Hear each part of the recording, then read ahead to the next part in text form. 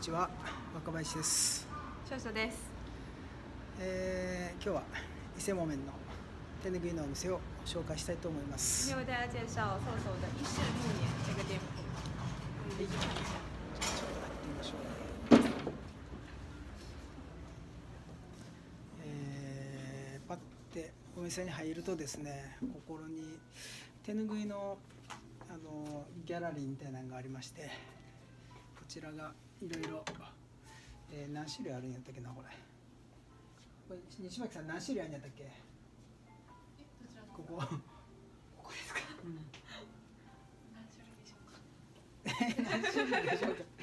まあいっぱいあるんですね。人気トップいくつやったっけな？忘れたな。ちょっとあの確認しててな。まあたくさん人気者のやつが、えーいちいち、えー広げなくてもいいようにですね。ここにこう飾ってあります。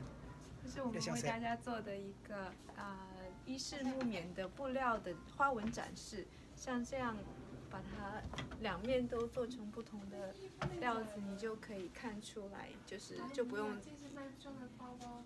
一个一个打开看。好きにこう見てもらって衣服对，在隔壁在隔壁。啊，在在那边，就在前面，是女装跟男装分开的。怎么走的呀？啊，对，就出门之后就右手，右手是对，嗯，谢对谢啊。谢谢。ありがとうございます。えー突然まあありますよねまあ、ここで、えー一通りいろいろあの見ていただいた後に、えーまあこうやって、えー見てもらったらいいんじゃないかなって思ってますいらっしゃいませ进门的时候为大家展示各种布料，然后接下来还有这种分分区的小的，可以一一打开来看。ここにあるのは、えー原画ですね。原画がちょっと飾ってあったりします、这是搜索的设计师的原画，えーそしてここには、えー京都の限定柄がちょっと置いてあったりします是搜索京都店的一些限定的纹样。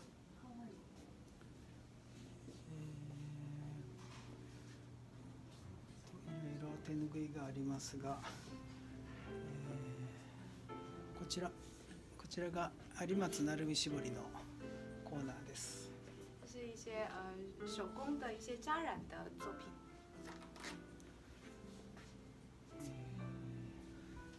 針匠さんの元祖石化シリーズですとか、えー武田貨幣商店とか山間さんとかいろいろ、えー名古屋の 有松鳴海絞りの職人さんたちに作ってもらってます一些名古屋的一些呃手工职人，然后为我们做的一些雪花系列的扎染，还有把它做成像那个小鸡的形状啊，然后还有一些像猴子的笑脸之类的。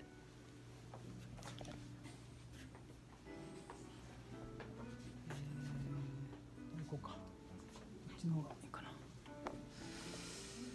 こちら真ん中の重機に置いてあるのは、えー姫竹と言いましてちょっと短い竹ですね。ちょっと広げてください一つ。在中间这个架子上，就是为大家展示了一些短的手巾，因为传统的日本的呃手巾呢，就是手帕呢，它是九十九十厘米长的，然后这个是五十厘米长，就一半多一点的，可以当做手帕来使用。ちょっとハンカチ代わりにちょうどいいサイズですかね。对，就平时携带也比较方便。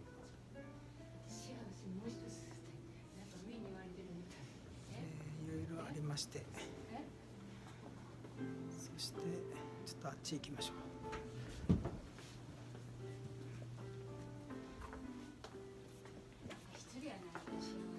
ここに並んでるのが首巻きですね。伊勢木綿の手ぬぐいでできた首巻き。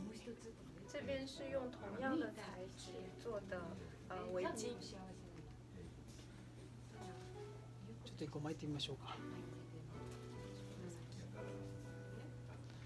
手ぬぐいなんで、えー汗も吸うし冷房対策にもいいですし洗濯も簡単なんですね。因为伊式木棉的呃主要特点呢，它就是因为轻柔，然后越洗会变得越软。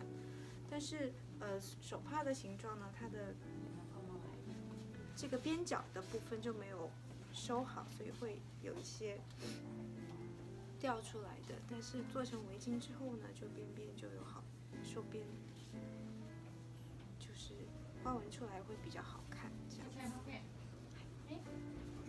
なるほどいい感じですねあ りがとうございます。こちらにも同じくありまして。こ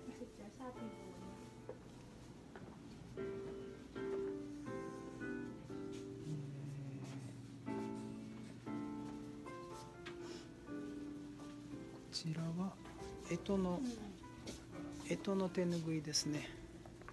这边这个区域呢是生肖的纹样的手巾，可以为大家打开看一下。这是兔年的一个纹样，干支の手ぬぐいが毎年並んでいるのとでこちらのコーナーは月々の手ぬぐいが並んでます然后这边的区域呢，就是瘦瘦每一个月都会出一个新的纹样，从半年之前就开始做这件事，然后可以看到每个月不同的花纹。 例えばこれでして1月2月3月4月5月6月7月と、えー年度が変わって これも1月2月3月。毎年こう年によってコンセプトが違うんですけれどもその年のコンセプトに合った月々の手ぬぐいを、えー発売していると。ことですね。刚刚说了，是我们做这件事做了八年，然后每一年呢，我们都会提前定一个不同的主题，然后根据这个主题做呃十二个月的不同的纹样。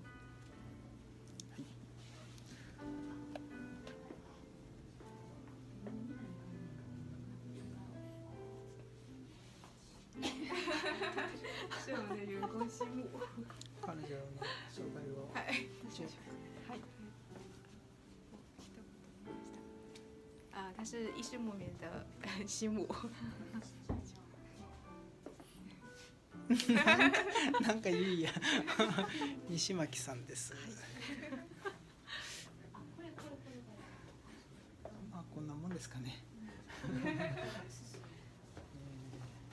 ーあ伊勢木綿の手ぬぐいはですね、えー手で洗ったりせずですねこのように洗濯機で一気に洗ってください。我们有一个伊势木棉最重要的特点就是，请用洗衣机清洗，不要用手洗。えー間違ってもつけ置きとかですねそういうのはやめてください。因为伊势木棉的它的一个特质就是，如果你用洗衣机清洗之后，它可能会掉色。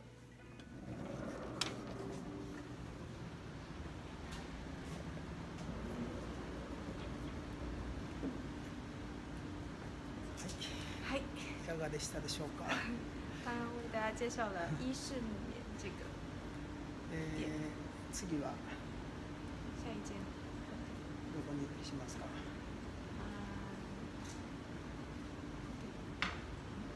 補定行きますか。じゃあ、えー次は補定に行きます。呃，那下一间我们接着会为大家介绍 SOSO 的布包跟风吕夫的一个店，それではまたさよなら。下次再见。